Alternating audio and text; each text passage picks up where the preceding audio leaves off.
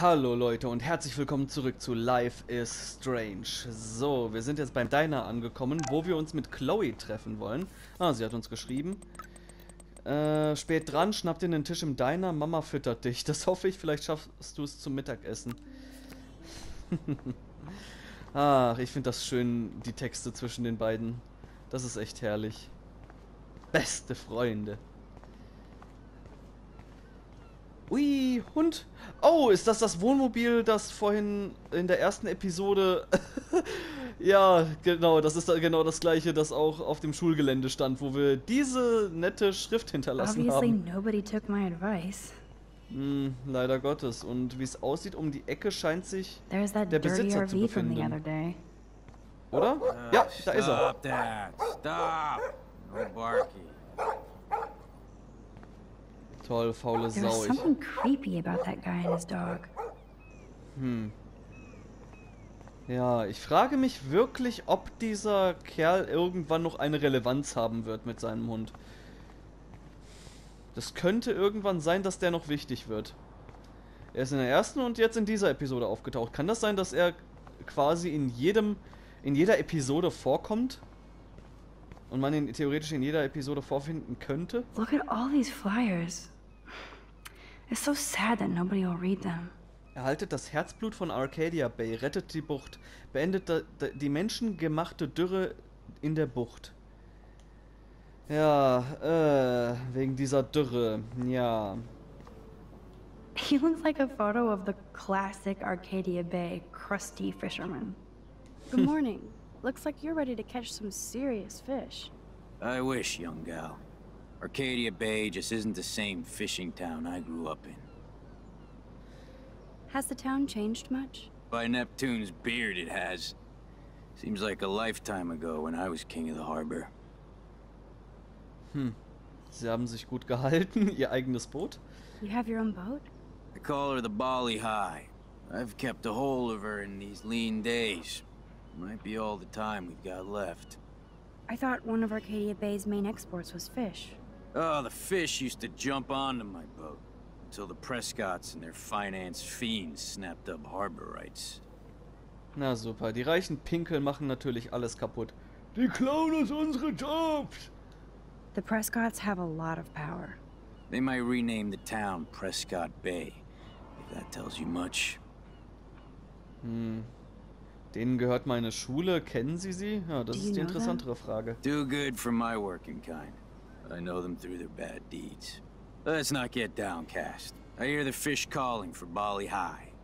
Never forget that old fishermen never die. We just smell that way. I'd love to learn more, but I have to get going. Happy fishing out there. Oh Mann, ey. Die reichen Pinkel machen die Stadt also auf mehrere Arten und Weisen kaputt. Hallöchen, Schild. Uh. Und von hier aus können wir sogar ein Foto von machen. Da müssen wir uns scheinbar richtig positionieren für. Hm. Komisch, dass wir das Schild nur aus dieser Perspektive aufnehmen können, aber gut. Warum nicht, ne? That sign reminds me of so many times I ate here with Chloe and my family. When we were happy. Was ist denn heute auf der Tageskarte? Yes, we are open. Bacon and eggs only 5,95. Old fashioned service. Mmm.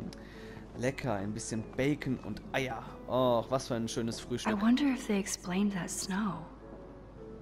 Snow? Well, that's a good start to the story. Weather Service baffled by snow. Wetterdienste vom Schnee überrumpelt. In einem seltenen Eingeständnis hat der nationale Wetterdienst gestern zugegeben, dass es noch keine Erklärung für den ungewöhnlichen und kurzzeitigen Schneefall diese Woche in Arcadia Bay, äh, Bay Oregon gibt. Naja, okay, sie haben es zum Thema gemacht, aber haben keinen blassen me. Schimmer. Sir? Can you believe this town? The world is on fire, and our big headline is snow. I can hardly wait for next week's big story. Clouds! Der Schnee war komisch, ja. The snow was pretty odd. It was right in the middle of a warm, sunny day. Oh, Global warming bullshit. It's the Northwest. Snow happens. I keep reading how Arcadia Bay is booming. The paper can only talk about that or about missing girls. Rachel Amber? You mean Rachel Amber? I guess. I bet she ran away because she was bored. Who wouldn't be here? Hm, ich glaube nicht. Excuse me. I have to read my horoscope. Ah, ich weiß nicht. Uh, wen haben wir denn da hinten? Einen Obdachlosen. Ne, eine Obdachlose. Das ist eine Dame. Poor woman. I hope it's a shelter for her. Hello. Oh, look at you. A fine example of youth. I bet you're a senior student. Yes, I go to Blackwell Academy. I could tell you're a wise young woman. I know all about Blackwell and this town. Nichts gegen dich, aber seit ähm, The Walking Dead Episode äh, Staffel 1 Episode 2, also von den Telltale-Spielen, bin ich so ein kleines bisschen vorsichtig um äh, Frauen mit solch einem Akzent. Ich weiß, es ist voll rassistisch und so, bla, aber aus irgendeinem Grund jagt es mir jetzt einen leichten Schauer über den Rücken, wenn ich so einen Akzent höre. Okay, Arcadia Bay. Hm. How long have you lived in Arcadia Bay? A thousand years. I've gone through the same changes as the town. Mhm. What changes to the town? Ones it takes a lifetime to see. There's a lot of beauty here, but a lot of darkness, too. Greedy bastards that ruin this town put people out of work, out of home. Like me. I'm sorry. Have you ever lived outside of here? Where the hell would I go? I hate the sun and love the mist. I might be homeless, but Arcadia Bay is still my home. Hmm. You must know Joyce Price from the Two Whales Diner. She's fed me more than my own family. How's a daughter your age who's always in trouble? Married to a real prick. Okay. David Madsen, Chloe. His name is David Madsen. He told me to get a job once. Asshole. Not sure what Joyce sees in him, but he better treat her right. Äh, macht er nicht wirklich. I bet you have dirt on the Prescott family. That whole family is dirty. They once done good things for Arcadia Bay. Those days are dead. Like anything in their way. I know hmm. somebody who's being threatened by a Prescott. Then you be their guardian angel, because nothing gets in the way of that family, especially not the law. Hell, they own your school, Blackwell. Almost. I have to go now. Fast. Goodbye. Hmm. Sie besitzen die Schule nur fast. Heißt das, es gibt irgendwelche Anteile, die jemand anderes besitzt? Also wahrscheinlich wird der Direktor den Rest besitzen und das wird uns nicht wirklich weiterhelfen. Ich hatte für kurze Zeit die Hoffnung, dass irgendjemand anders eventuell irgendwelche Rechte daran hat. Ah, wir können von hier aus ein Foto von dem guten Hund machen. Der Hund ist nicht böse, einfach nur schlecht erzogen. So. Wunderbar, hätten wir das auch. Ja, ich denke mal, wir haben uns hier jetzt alles außerhalb des Diners angesehen. Es sei denn, wir können hier noch ein bisschen langlaufen. I don't want to go Wow. that way. Okay, das hat mich jetzt leicht erschreckt. I don't want to go that way. Okay, alles klar. Gut, dann gehen wir jetzt ins Diner und essen etwas Leckeres mit der Chloe zusammen. Ja, wobei der Nachricht entsprechend ist sie, glaube ich, noch gar nicht da. breakfast and the sound of clanging silverware mm, makes me feel 13 again. Okay, ein Did Fischer. you catch any big ones today? If by big you mean none, then sure. I caught a lot of big ones today. Now let me mourn over my eggs. Bist du zufällig mit dem Kerl draußen verwandt? Seid ihr eine Fischerfamilie? Komische Frau. Inwiefern ist sie komisch? Hello there to you! Such a beautiful day, eh? Oh yeah, it's gonna be a super day. Enjoy your breakfast, eh? Eh?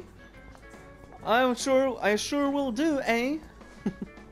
Oh man, I bet that's the same gum from when I was here last. Tja, das Zeug hält sich, überlebt sogar Atomkriege. This guy has serious cojones. Boah, Alter, der Kerl sieht sowas von aus wie der Autor von den Game of Thrones Büchern. George R. R. Martin. Der sieht sowas von wie er aus. Erleben Sie ein Abenteuer zu See mit Kapitän Coston. Heuern Sie de den legendären Seemann für Ihre eigene Sch Seereise an. Ich wollte schon Schneereise sagen. Jack Coston und seine Unterwasserwelten. Sie, Sie haben ihn im Fernsehen gesehen. Sie haben ihn über ihn in der Zeitung gelesen. Ein ortsansässiger Kapitän, Fischer und Fachmann mit 30 Jahren Erfahrung nimmt ihre Gruppe mit auf eine dreistündige Tour durch das üppige und exotische Wasserreich von Arcadia Bay. Jack wird nicht nur die Wichtigkeit unseres Meereserlebens, äh, Meereslebens für das Ökosystem erklären, sondern ihnen auch helfen, ihren eigenen Fisch zu fangen und zuzubereiten. Tägliche und wöchentliche Exkursionspreise 75 bis 125 Dollar. Für weitere Details besuchen Sie bitte unsere Website seacostonfish.gu. Mhm. Hört sich doch nicht schlecht an. Why does that so not sound fun? Hm? Moby Deck Touren. En- Erkunden Sie Arcadia Bay richtig. Entdecken Sie die aufregende Geschichte der Hochsee. Reisen Sie sicher und bequem. Vollständig ausgestattete 12 bis 15 Meter Boote. Touren Tag und Nacht möglich. Paare, Gruppen und Familien willkommen Dienstag bis Sonntag 6 bis 19 Uhr. Besuchen Sie uns im Web, um Ihre Tour zu buchen. Und noch was? Was haben wir hier? I might make Chloe check this out with me. Aha. Ausflug zum Bigfoot. Erforschen Sie die wilden Wälder Arcadia Base mit dem angesehenen Kryptozoologen Chuck Pierce Jr., Autor von Bigfoot Mythos oder Wissenschaft und Bigfoot Monster oder Tier, Sprecher im Dokumentarfilm Bigfoot Ich glaube an dich. Schließen Sie sich jeden Samstag und Sonntag Chuck für eine halbtägige Wanderung zu den Orten an, an denen eine Sichtung des Bigfoot am wahrscheinlichsten ist. Achso, das äh, sollte keine Frage sein, sondern ein Befehl. Chuck teilt sein weitläufiges Wissen von Erzählungen, Legenden und Fakten und sie werden am Ende des Tages einen Fußabdruck des Bigfoot mit nach Hause nehmen, der in einem Gebiet erstellt wurde, das nur Chuck Pierce Jr. kennt. Für weitere Informationen und genaue Zeitangaben kontaktieren Sie bitte Sasquatch li- lives at wildtracks.gu. Ja, ja, der Sasquatch. The poster doesn't mention whacked students with guns. Ja, wäre geil, wenn das mal in der Schulbeschreibung stehen würde im Internet. Kate Marsh, love you long time. Hm. Flush before pissing on floor. That graffiti has been here forever. Aber ist ein, ein nettes Graffiti. Ich mag das. Gross.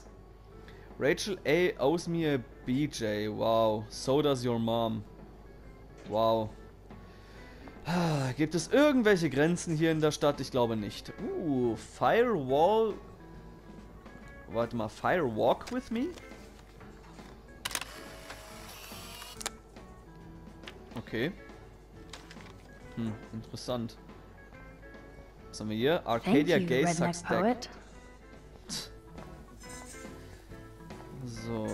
What do you want? I feel like shit. Too much beer, so spare me, please. Just let me suffer quietly. Hello, sir. Hi, young lady. You look a little lost. Uh, hungrig. Just hungry and thinking about what to eat. Now, that is a real problem at the uh, Two Wells. I can never decide. Joyce's pumpkin pie or grilled mac and cheese. Hmm. So, you know Chloe? Sadly, we all know Chloe down at the station. Poor Joyce. Just heard she even just got Oh. busted with pot in her room. Ach, ihre Mutter arbeitet in dem Diner hier. Oh, wusste ich gar nicht. Interessant. Uh, that's not good. Anyway, hmm, that bacon sure smells good. Is she a friend of yours? Äh, ich kenne sie, ja. I know her. Then you know she's a handful. Das kann sie sein. Nein, ich muss los. Äh, ja, hm, das, hm. No, I think she's just had some bad luck. You have to create your own good luck. I think Chloe would rather destroy. But I'm just a cop, not a psychologist, so Gut. How well do you know Joyce? I know her delicious grub. Everybody at the station comes here. We take care of this place like it's our own kitchen. And Joyce like she's our our mother. Oh. I guess you're friends with David Madsen. I wouldn't use that word. We know each other. Why do you ask? Äh, er hat einen Ruf, ja. He kinda has a reputation at Blackwell. I have respect for David. He served his country. He found his calling at Blackwell. At the station, we're happy David is exactly where he is. Not everybody can be a cop. I have to go now. Enjoy your breakfast. Ganz ehrlich, für sein Land gedient zu haben, ist doch kein Freifahrtschein für. Arschloch sein. I usually stay away from sketchy parked vehicles. Wise policy. The guy who lives in it, Frank, is pretty sketchy himself. That's all I can say for now. I should finish up my coffee and get to work. Was ich mich nur frage, ist, warum hat der Kerl einmal auf dem äh, Blackwell-Parkplatz geparkt? Was hatte er da zu schaffen? Das ist jetzt gerade eine interessante I Frage. don't feel like talking right now. I gotta deliver a load of breakfast to my stomach. Over and out. Fair point. Uh, hello? Pardon moi, but you're in my eyesight. Ne, alles ist im Blickfeld. Isn't everything in here within eyesight? I don't care for your tone. You sound like Joyce. Oh, How does Joyce sound? Bossy and smartass. Like you. Ich glaube, Joyce und ich werden gute Freunde. Joyce rules. I want to be exactly like her when I grow up. Looks like you're on your way. I've been coming to this dive for three years, and Joyce gives me shit like it's going out of style. That's how she rolls. That's why I worship her every move. Good. I can't wait to see you flipping greasy bacon in a diner when you grow up. Exactly like Joyce. Now pardon me while I get back to my coffee. Wenn du jeden Tag äh, von. Wenn sie dir jeden Tag auf den Sack geht, warum kommst du dann überhaupt noch hierher? Jetzt mal ohne Scheiß. Was bist du, ein fucking YouTube-Kommentator, der sich irgendwie immer noch Part 100 von einem Let's Play anguckt, das ihm gar nicht gefällt? Und immer noch Daumen runter drauf gibt? Ja, genau, genau wie so ein Typ siehst du aus. What's up, Justin? Getting my coffee on before I cut class and destroy some rails. Shouldn't you be taking photos? Das mache ich doch nicht die ganze Zeit, aber, hä, I guess. I am always taking photos. I am a camera.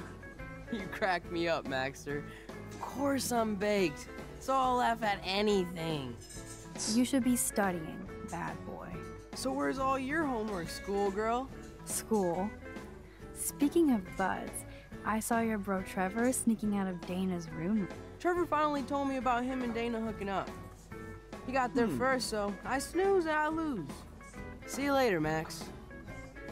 Tja, der scheint ja relativ gechillt darüber zu sein. Hey, Interessant. Trevor. Holla, Max. By the way, I know you saw me in the dorm. Ja, Yeah, I saw you coming out of Dana's room. Yeah, and I finally had to tell Justin because, well, he was into her too. How did Justin react? I got him blazed. He was cool. Nobody has secrets in Blackwell anyway. See you in class, Max. tja, entweder hast du ihn in einem sehr bekifften Zustand erwischt und Glück gehabt, oder der Kerl lässt sich davon äußerlich nichts anmerken und in Wirklichkeit ist er scheiße sauer. Drool. Want everything. Mhm. Sieht geil aus, auch wenn die Texturen besser aussehen könnten und ein bisschen schmackhafter, aber ich würde es trotzdem essen. Ah, da scheint unser Platz zu sein. Okay. Our family never went whale watching. Looks fun. I got you, babe? How apropos. But no fucking way. Können wir die Musik wechseln? Banjo-Stück oder Gitarrenstück? Ich nehme Gitarre.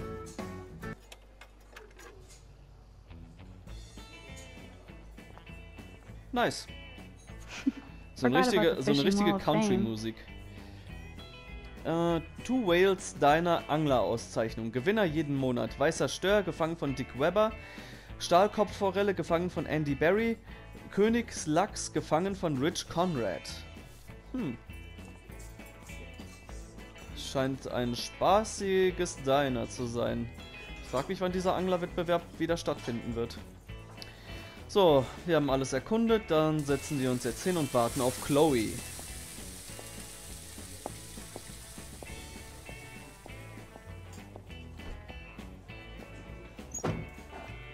And there she is. Lovely young woman. How are you doing, Max? Hi, Joyce. It's nice to see you again. You look the same. Hmm. like I'm still a waitress at Two Whales after all these years. No, like you still look pretty. Nice Oh. save, kid. You're still smart.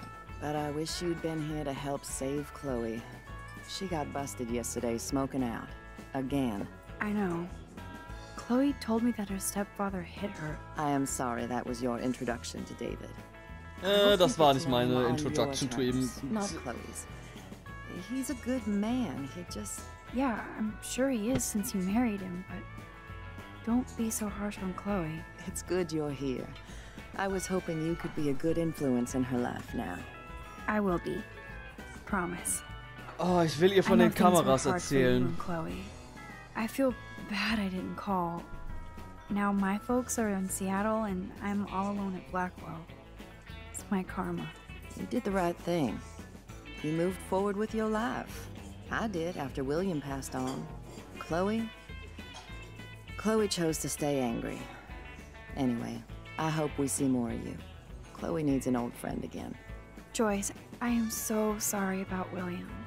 I have great memories of him. I'm glad, Max. That was his gift to us. Wonderful memories. Hmm. Even if Chloe doesn't understand yet. Chloe versteht's, Chloe hat sich verändert. Ah, ja. Chloe understands. She just needs time. I know that sucks for you. Oh, she hit all the phases expulsion, running away, drugs, bad boys, tattoos, piercings, blue hair. now she's got to rebel against her stepfather. I see why. I mean, Why? What did Chloe tell you? David hat sie geschlagen, nichts. Oh, sollen wir es sagen? Sollen wir uns da einmischen? Ah, ich weiß nicht, ob Chloe dann eventuell. Ich meine, es wird ihr im Prinzip nur helfen, weil wenn äh, Joyce jetzt auch mal endlich die andere Seite von diesem Drecksack kennenlernt, wie er sich benimmt, wenn sie mal nicht in der Nähe ist, da, da muss sie auch von erfahren und vielleicht fängt sie dann an, etwas vorsichtiger ihm gegenüber zu sein und mal ein paar Sachen zu hinterfragen. well, Chloe texted me that David slapped her yesterday. He feels awful, and he will be punished. Oh. But Chloe does push David, and it's not fair. He paid his dues in a war. He does care about her, along with all the students at Blackwell. Er hat eine Scheißart, das zu zeigen. Kein Grund, sie zu schlagen. Ich verstehe, er sorgt sich um Kate Marsh. Äh, ja, das sah, sich, das sah nicht so aus, als ob er sich um Kate sorgen würde. Äh, ich würde äh, entweder Dreieck oder Kreis, verdammt. Ja, komm, wir haben genug über Chloe geredet. Jetzt bringen wir auch mal sein anderes Verhalten hier rein. David mentioned her, but I stay out of his business. I won't patrol Blackwell, and he won't cook at the diner, you know? I saw him arguing with Kate. I thought you might know why. Nice try, Nancy Drew. But next to you, there's hmm. only one student I'm worried about, and she's not even in school anymore. So, now let's get down to the nitty gritty. What do you want to eat? Hm, Bacon Omelette oder belgische Waffel? Oh, don't make me choose! Ach komm, das Bacon Omelette ist heute im Angebot, wie es aussieht. Ich nehme das. I was dreaming about your bacon omelet. Now finish your coffee. Hm. Ich kann Kaffee immer noch nicht ausstehen, aber sollen an, ich halte nicht andere Leute davon ab, ihn zu genießen. Was haben wir denn hier? Graffiti. Nerd graffiti. I love the delish anticipation of breakfast. Hm. Oh, yes, black coffee. You will be mine. the only thing that's changed on the menu are the prices. Alles teurer geworden, ne? Ja, okay, wir müssen uns jetzt nicht die ganze äh, Speisekarte durchlesen.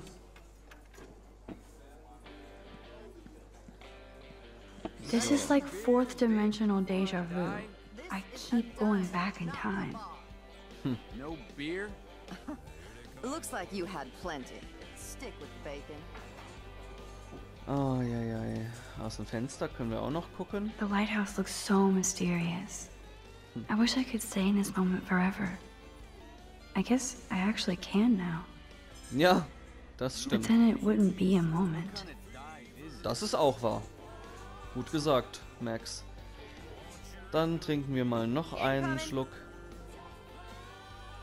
This is like fourth dimension. Ach so, sie sagt dann wieder das gleiche. Oh. Oh, ey. Das wollte ich nicht überspringen.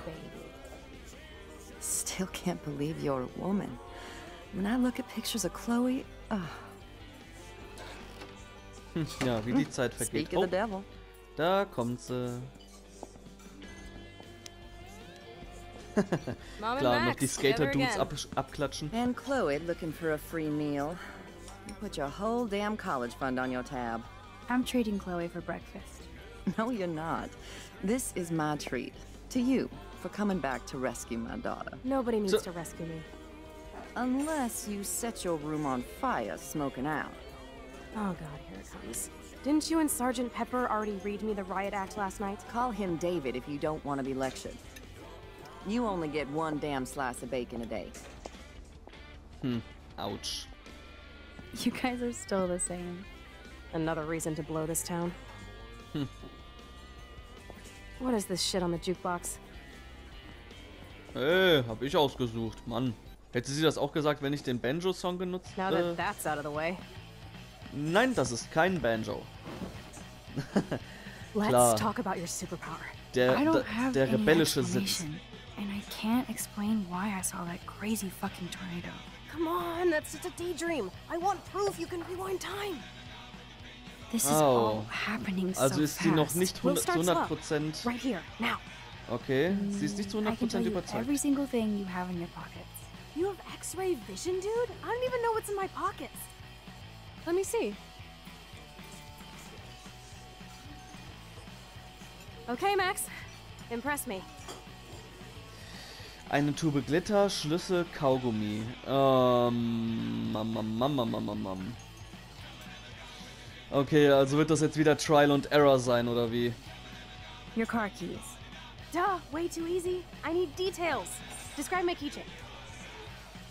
Rasierklinge, Schädel, Kugel. Ach, haben wir das jemals mal gesehen? Ich glaube, zu ihr würde Schädel passen. A skull keychain for a punk like you. That was so wrong, Max. Shit. Okay, psychic girl. Let me show you what's actually in my pockets. Und jetzt kann ich sehen und die Zeit zurückdrehen, oder wie? Okay, that ein was paar Münzen. beyond epic fail. You even made me want to believe you. Tja, ich werde, ich kann es noch tun. Also noch einmal genau okay, ansehen. Max. Study every item carefully and don't forget anything. Mhm. Also, wir haben ein, keine Ahnung, ein Mutanten-Panda mit einem Herzsymbol als Schlüsselanhänger. Zigaretten, natürlich. Und ein bisschen Kleingeld. Kleingeld! Okay, oh, dies ist eine Verwarnung. Ort S.O. Franklin, äh, Datum, ne, ne, ne, ne, ne. Ihr Fahrzeug ist in einem Sperrgebiet geparkt, außerhalb des gekennzeichneten Parkbereichs. Sie stellen ein Hindernis für den Verkehr oder Fußgänger dar. Parken Sie nicht wieder in diesem Bereich. Äh, alles klar. So, jetzt sind wir in der Lage. Ja. Oh ja. So, alles klar. Das werden wir allerdings erst im nächsten Part machen. Von daher, vielen lieben Dank fürs Zusehen, I bet you have a Leute. photographic memory. Get it? Hä? Ja, I get it. Ja, und wir werden... Soll das ein Bild von Nathan sein? Und wir werden im nächsten Part dann auf jeden Fall der Chloe beweisen, was wir drauf haben. Äh, genau. Ziel, Chloes Sachen merken, zurückspulen und sie beschreiben. Alles klar, dann bis zum nächsten Mal, Leute. Ciao, ciao!